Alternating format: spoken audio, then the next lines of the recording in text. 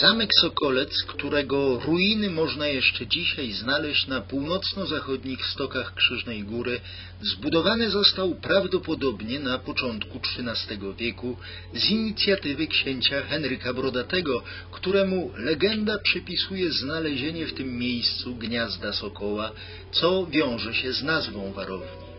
Wcześniej, bo już w VIII-IX wieku istniał w tym miejscu wczesnosłowiański gród obronny.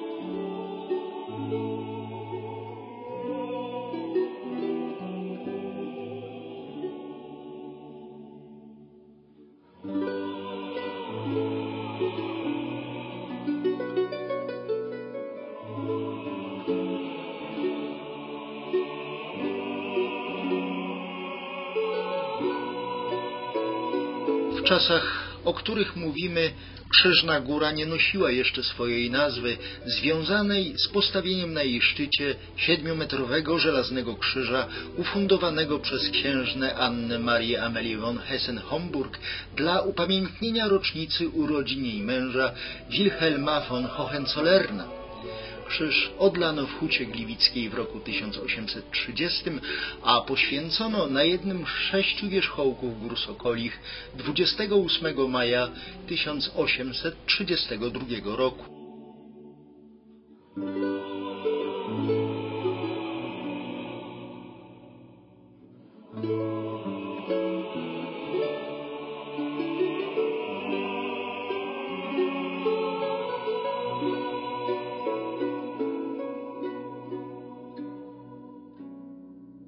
Silne zniszczenia zabytku i brak badań terenowych uniemożliwiają dokładne i precyzyjne ustalenie układu przestrzennego i funkcji zamkowych budowli. Można jednak z dużą pewnością powiedzieć, że podobnie jak w zamku Bolczów, budowniczowie Sokolca w ciekawy sposób wykorzystali naturalne warunki terenowe.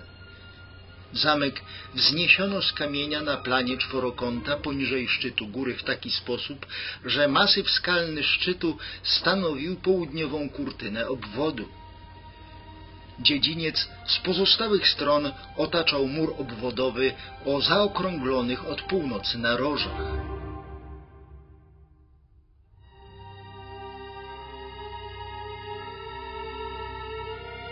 Wjazd do warowni umieszczono w kurtynie zachodniej i był on flankowany przez dwa niewielkie budynki. Nie wiadomo, czy zamek posiadał wieżę. Na zewnątrz obwodu warownego dostrzec można ślady ziemnych wałów. Do naszych czasów z zamku zachowały się jedynie fragmenty murów przyziemia i zewnętrznych wałów ziemnych.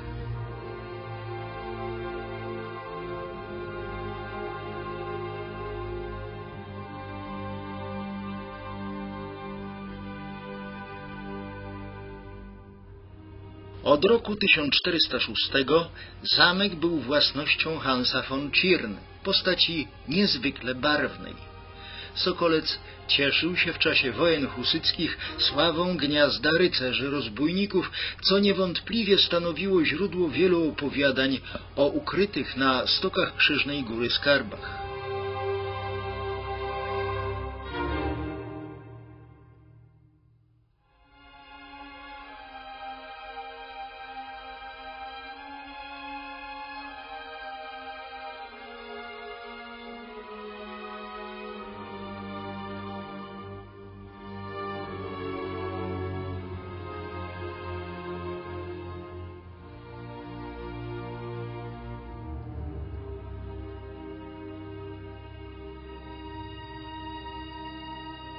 Hans von Czirn popierał husytów, ale w 1434 roku zmienił poglądy i zaprosiwszy na Sokolec dwóch dowódców husyckich, m.in. księcia Biedrzycha, w nocy z 11 na 12 sierpnia 1434 roku wydał ich w ręce wrocławskiego biskupa i świdnickich mieszczan.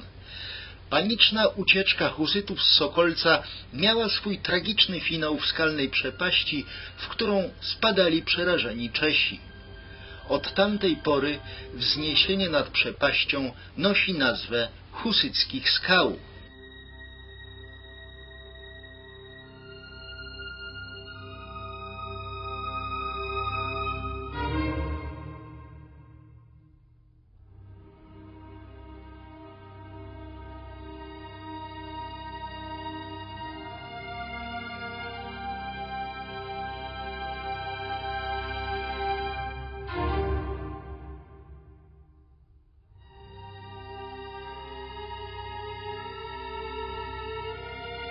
Z okresem wojen husyckich i rodziną von Czirn wiąże się jedna z legend mówiąca, jak pewnego razu małżonka właściciela zamku i dwie jego córki, Uda i Gizela, udały się do zamku Bolczów na chrzciny. Przy tej okazji Uda zaręczyła się z synem rycerza Peczkę von Cedlic, panującego w Maciejowej.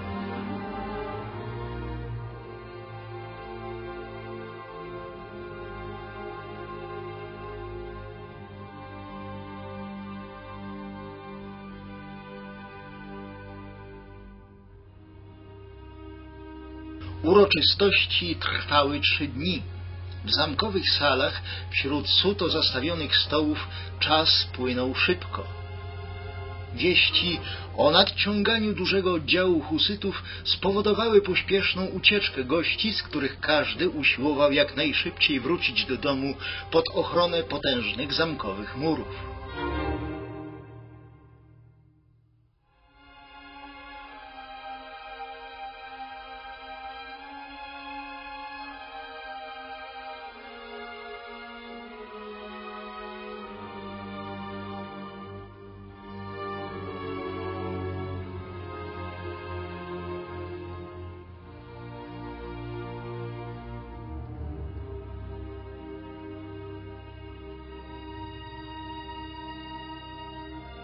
Szlachetne damy z Sokolca także wsiadły do swojego powozu, aby szybko udać się w powrotną drogę do domu.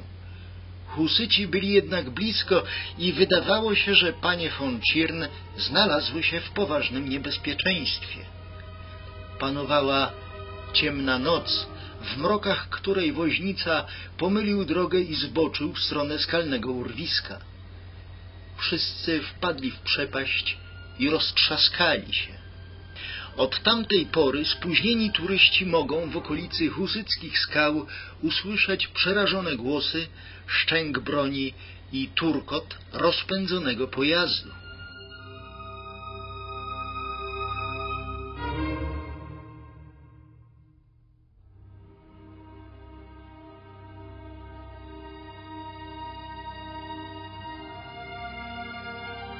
Opowieści o zakopanych w ruinach Sokolca kosztownościach sprawiły, że od ponad 500 lat zbocza i załomy skalne Krzyżnej Góry przyciągają poszukiwaczy skarbów.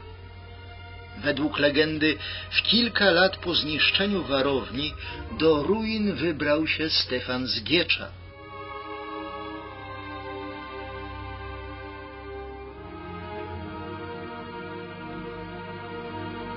Po niedługich poszukiwaniach znalazł kilka grudek złota i wielki, ciężki kielich. Kiedy chciał już wracać ze zdobyczą do domu, nagle zauważył osła. Zwierzę wzięło do pyska kielich i odłożyło na bok, a w zamian przyniosło Stefanowi złotą kulę.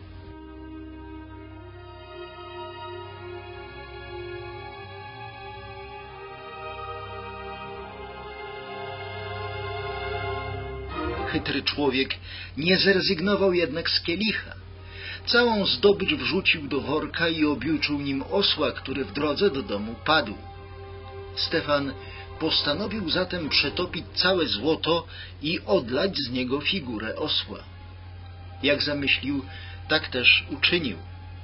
Jednak kiedy osioł był już gotowy, rozległ się głos mówiący — Mimo ostrzeżeń przetopiłeś świętego Grala, kielich używany przez samego Jezusa Chrystusa podczas ostatniej wieczerzy. Będziesz za to przeklęty na wieki. tym momencie złoty osioł zapadł się pod ziemię, a chciwy Stefan zamienił się w kamień. Podobno złote zwierzę wciąż czeka na swojego odkrywcę.